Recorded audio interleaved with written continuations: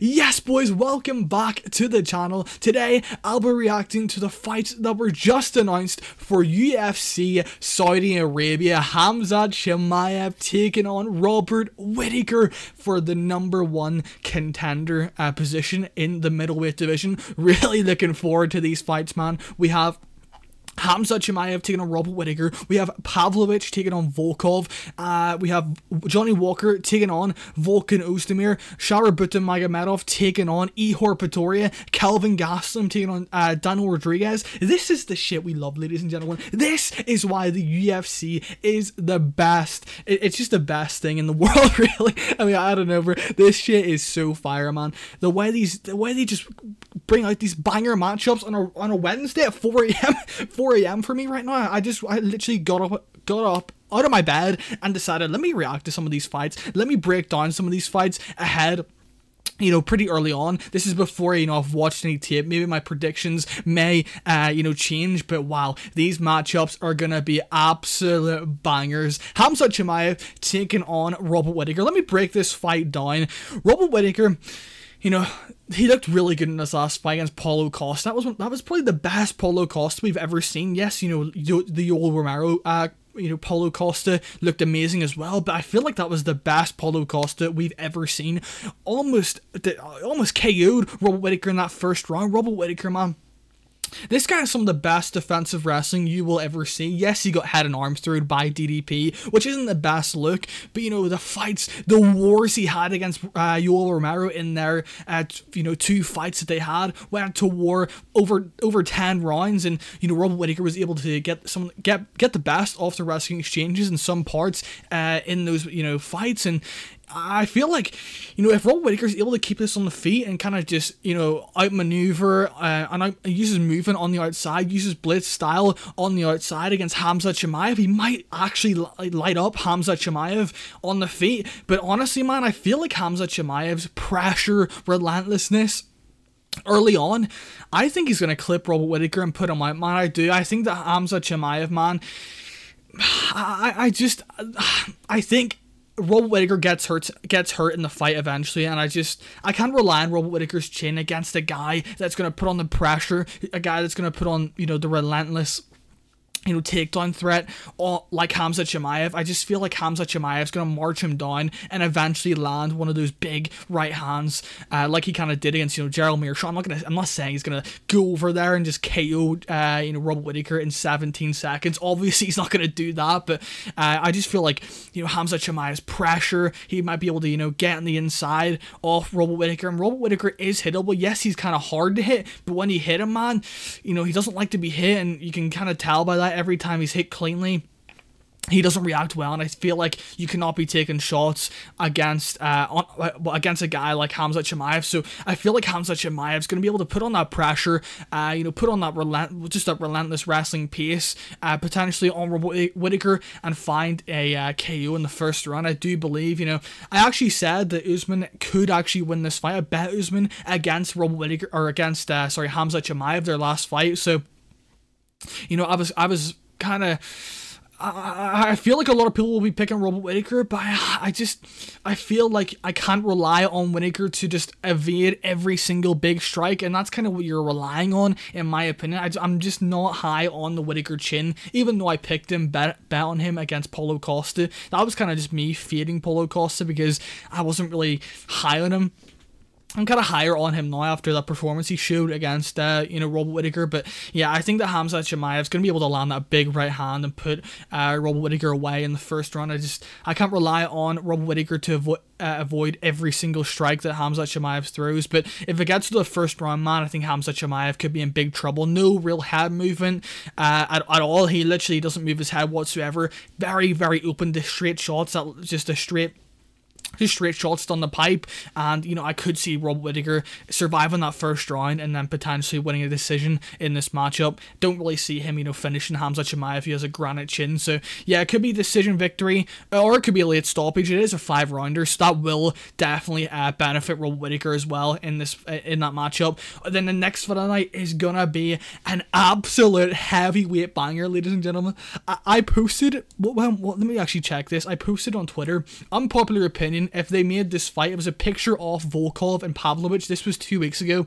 I said, unpopular opinion, if they made this fight, I would pick I would pick uh, Volkov to beat Pavlovich. His kicking ability, which Pav has struggled with in the past, would destroy him, and I'm gonna stick by that. I'm gonna stick by that. I think that I don't, I don't think I have to watch tape for this man. I'm really good at heavyweight. Uh, I'm really good at predicting heavyweight fights. I have a very good uh, you know betting record on heavyweight fights of 42% ROI but for you guys that don't understand betting it basically is just very high it's very good uh, you know money return if you bet if you bet the fights that I pick so yeah um I, I do I have a very good read on Pavlovich. I bet him against Curtis Blaydes. I bet him against uh, Derrick Lewis as an underdog. Bet him against Tai. I think I parlayed him against Tai. He was like minus 200 in that fight. I bet on him um, versus Blaydes at like plus 120, and then I bet against him with Tom Aspinall. So I do have a very good read on Pavlovich, I feel, and I think that his kicking defense is very poor, man. The the way I found this out was kind of watching that Blaydes fight. I watched that Blaydes fight, and I was very like,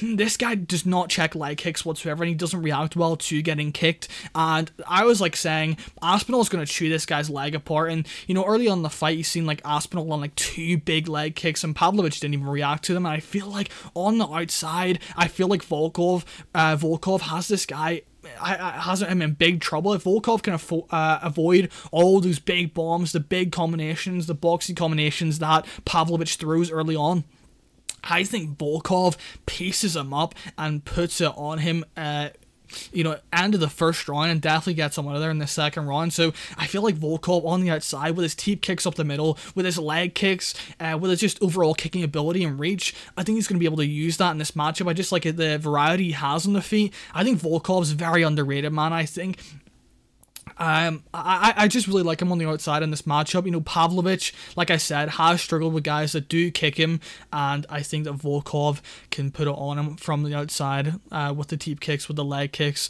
and yeah, I like Volkov in that matchup for sure.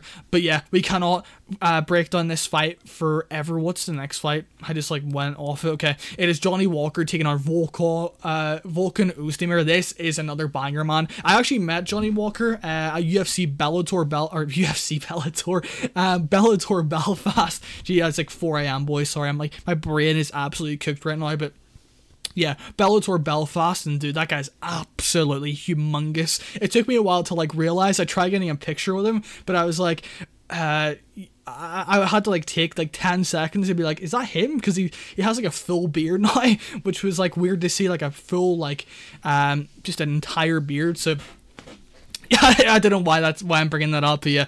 Um, Volkan Oezdemir taking on Johnny Walker. I think that Johnny Walker wins this fight, man. I think that on the outside, I favor Johnny Walker with the power advantage, I favour Johnny Walker. I think that Volkan Oezdemir is very hittable, doesn't have the best chin, and I think that Johnny Walker is very, uh, you know, good on the ground as well. If Volkan Oezdemir takes him down there, I think that Vol- uh, that Johnny Walker is dangerous off his back, as we've seen against Ion Cutelaba. Yes, Ion Cutelaba isn't the best fighter, but I wouldn't say, you know, Volkan Oezdemir has, you know, insanely good BJJ or grappling on top. So I think that Johnny Walker, you know, can win this fight uh, pretty, pretty, uh, you know, spectacularly. To be honest, I think that he has the reach to cause Volkan Oezdemir problems. He doesn't have a long reach whatsoever. I think that Johnny Walker on the outside is going to have the longer strikes, the more powerful strikes from the outside. And I think that the different variety of strikes that he throws is going to be a big problem for Volkan Oezdemir. So I do like Johnny Walker in this fight. I do like him to get this bounce back victory at UFC Saudi Arabia.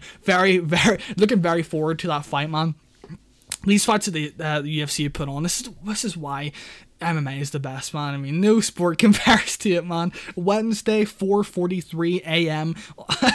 or Thursday for me. Uh, Wednesday for some of you Americans right now, but yeah, this is why the UFC is just amazing, man. I love this. I, I don't know what my life would be without this. Shit would be so boring, I'll be honest. But yeah, uh, Sharabutdin Magomedov taking on Ihor Potieria.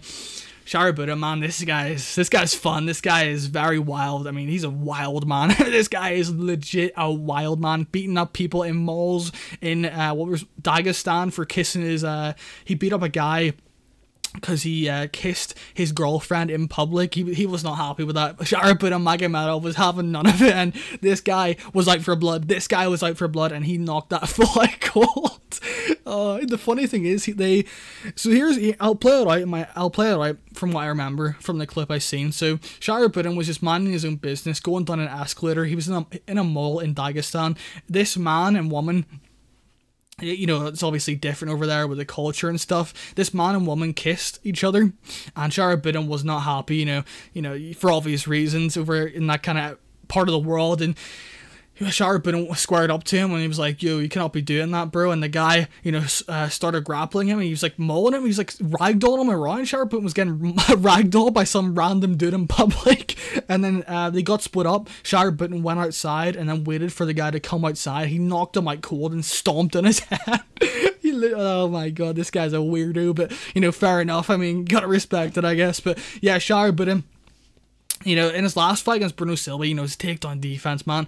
Yeah, yeah, yeah, yeah, yeah. His takedown defense was horrible, but his striking, man, his kicking ability on the outside is nasty. And we knew that this guy can take a shot on the chin, as we've seen in that Bruno Silva fight, man. He was getting hit with some big shots early on. And, you know, Shar- uh, was just able to outlast him, uh, able to out cardio him cardio him, uh, able to damage him on the feet, and even on bottom, man, he had some nasty elbows on bottom, which I love to see from fighters, man. You keep inflicting damage, keep racking up those points, which was good to see, but his takedown defense, man, his get up game did not look very good, but in this matchup against Ihor Potieria, man, I don't think that's going to be a problem uh, for him whatsoever. I think that Ihor Potieria is, a guy that's going to come forward, a guy that's going to march you down and try and land some big hooks on you from the inside. I think that Ihor Potieria is going to be outmatched on the feet, man. I think that Ihor Potieria from the outside, on the outside, sorry, is just going to get blasted with leg kicks, blasted with high kicks, blasted with body kicks, and I think that Potieria could, uh, you know, probably get finished in this match. I, there's no way this goes to decision. There's no way. I actually bet Ihor Potieria's last fight.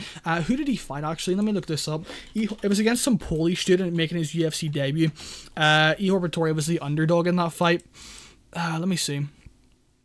One sec, guys. It was against Robert uh, Bryczek. I actually bet that fight to go to decision at plus 600 and it cashed, so I was very happy with that play that I bet on. But yeah, uh, this fight's going to be an absolute war, ladies and gentlemen. This fight's going to be an absolute banger. Fight doesn't go the distance. Parlay it up. Parlay Sharabutdin Magomedov up on this card because he's going to absolutely just, I, I think he's going to make this look actually, I don't think he'll make this look easy, man. I, I think that this fight could be very like if you have like if you're gonna bat Sharp and you're gonna be like, oh my gosh, please stop, you know, brawling with this guy. But I think he's gonna be able to outlast him, out cardio him, and out damage him.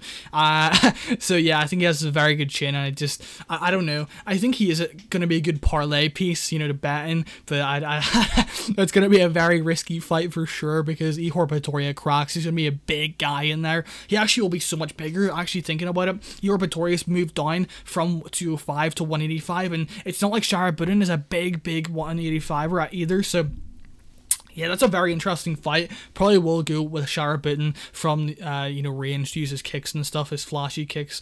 Uh, and then our last fight that was announced, it was Kelvin Gastelum will be taking on Daniel Rodriguez.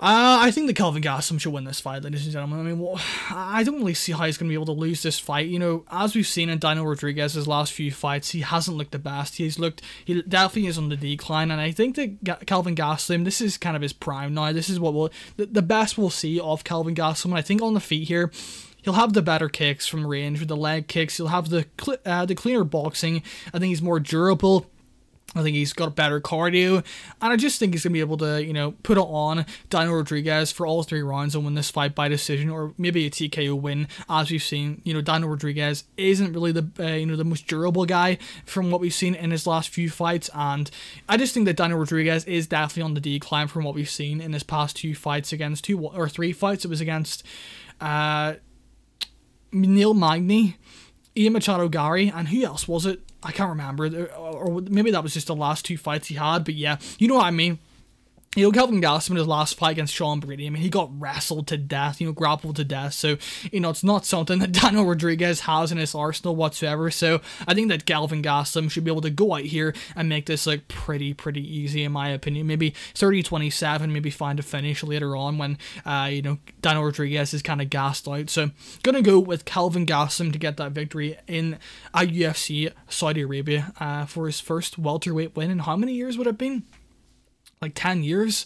he moved up in like 2015 to welterweight or middle middleweight. So yeah, that, that'll be a very good bounce back win for him, and you know he'll he'll have some momentum to move up the rankings because I, I feel like you know moving down and finding a guy like Sean Brady was a bit of a bit of the wrong call in my opinion. I think he needed a tune-up fight like this to you know make make his way into the top 15, the top 20 at welterweight. So this is definitely a better fight for him, and yeah, he should be looking for someone up the rankings after this fight. But yeah, guys, there you have it. There was my reactions to all the fights that Dana White just announced a matter of minutes ago. Uh, if you like this video, hit the subscribe button, hit the like button, comment your predictions or whatever down in the comments below. It helps the algor- algorithm out, and I'll try and respond to every comment possible, guys. But yeah, really looking forward to this UFC Saudi Arabia card. These fight nights have been absolutely terrible this year, so it's finally good to have a good. Uh, it's finally nice, sorry, to have a good fight night event. Uh, and yeah, really looking forward to UFC Saudi Arabia.